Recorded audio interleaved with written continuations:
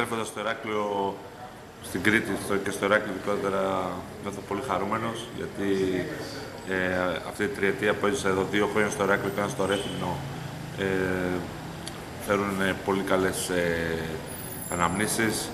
Ε, είχαμε πάρα πολύ καλές χρονιές, αγωνιστικά ε, και με τον Όφη που συνδέθηκα με δύο ανόδους και με το Ρέθυμνο το οποίο παίξαμε στο τελικό κυπέλου και ανεβήκαμε στην Α1.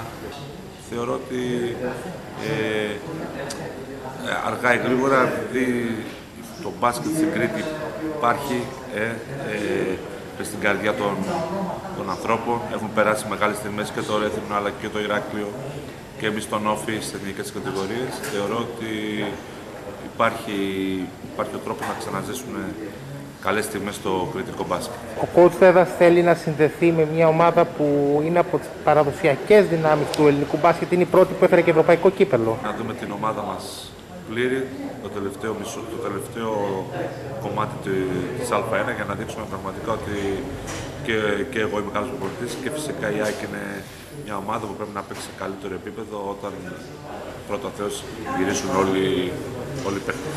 Το γήπεδο θα λιώσει μια πολύ σημαντική σελίδα για την ομάδα μας. It's been a long day without you, my friend,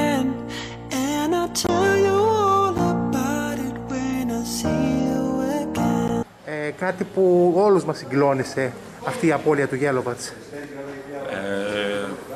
ήταν ε, μια από τις πιο, ίσως πιο δύσκολη περίοδος σαν, ως προπονητής. Θα μείνει χαραγμένο για πάντα αυτή στις μνήμες μας. Δεν πρόκειται να... και δεν είναι τυπικό, είναι κάτι που σχεδόν κάθε μέρα περνάει έστω και λίγο από το μυαλό μας. Και φυσικά για, το, για, την, για, τον, για την ΑΕΚ, ε, το ότι έχουμε κρεμάσει τη φανέλα του με το, με το νούμερό του και το όνομά του δείχνει ότι θα μείνει για πάντα ε, παραγμένος στις μνήμες